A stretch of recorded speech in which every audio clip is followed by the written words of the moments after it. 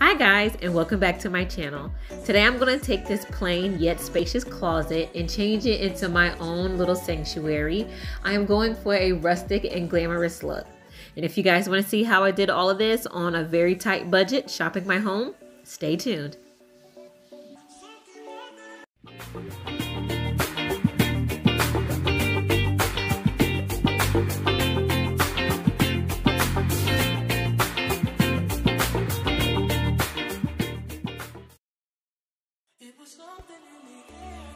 So guys, getting started with my contact paper. You all know how I am with contact paper. Nothing is safe around me. It's such an easy way to make a really huge difference in a space. And I'm just going to put it on the back of the walls in all of the closet.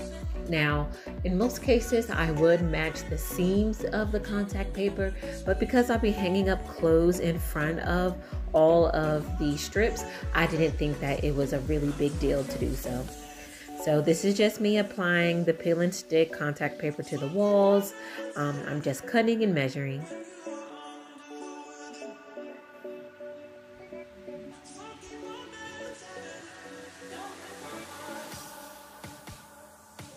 So getting to the shopping my home part to decorate the closet. Now I've had this mirror for quite some time. It's really plain and I would like a mirror that is framed in wood. So I just took some old vinyl that I had laying around the house and I just cut it to size and I will be sticking it on the frame of the mirror that is currently there. Now what I use to make it stick together is wood glue as well as some hot glue because that uh, bonds immediately. And I also gave it a little bit of a white wash just to change the look.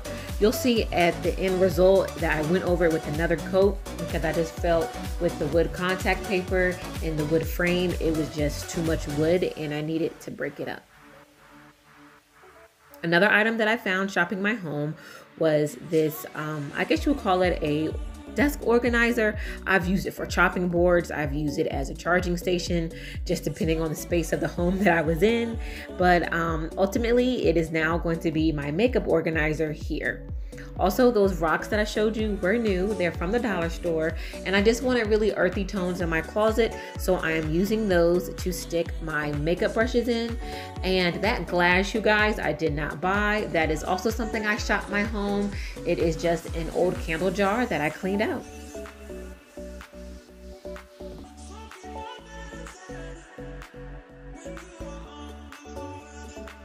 So I'm just going back and forth organizing my makeup, just putting things in different sections. I really thought all of my lipsticks would go in there, but it didn't fit. So I decided to use the um, larger little bin right in front of it. Um, so what I'm trying to do right now is because as you can see, they're falling all over the place.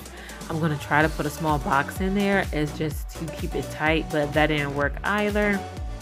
So I just gonna have to be a little bit more careful when I set them up and I set them down, things like that.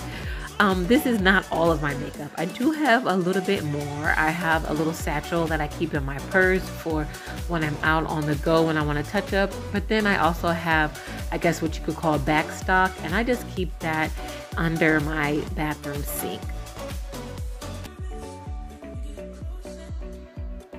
So now for the tour, you guys. Let's start right here at my door. I just have a hanger here on a command hook with all of my baseball caps. Um, when you need space, you just create it. There's always some space, either look up or behind something. So here to where my shoes are displayed. Um, this was just used to be a bench that was in my entryway. I just painted it white and set all of my high heels here. I do have them stuffed with packing paper to keep their shape. So here's my little vanity area that I just showed you guys that I set up. All of these things I shot my home for, except those flowers, those were new, as well as this um, picture frame of me and my husband. I got that from the dollar store. Um, right here are just some skincare products. I just set them over to the side because I prefer them not be visible, but definitely accessible.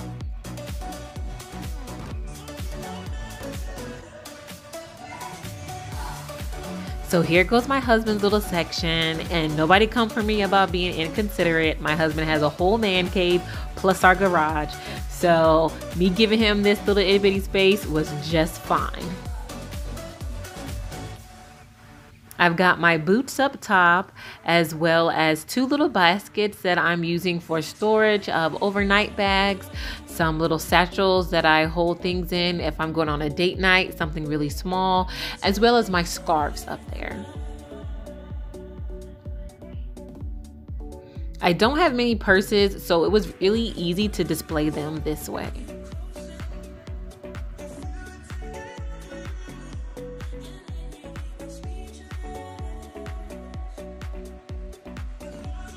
So here's the mirror that I really did, you guys. I really wanted it to stand out against that contact paper, so repainting it completely white was really a good idea. I'm really happy how it turned out. There is one new item that I bought, and it's this one right here, and it's um, just a little rack for a closet, just a space saver. I got it from Family Dollar. It cost me six bucks, and over here in the back corner, I have all of my tennis shoes on it, just shoes that just aren't really aesthetically pleasing, and I just didn't want to display. So you guys, that is it. This is my closet tour. This is how I tried to turn it into a rustic, glam, chic type of place just for myself. I hope you all enjoyed and got some ideas and inspirations and some ways to save a few dollars. And I'll see you in the next one. Bye.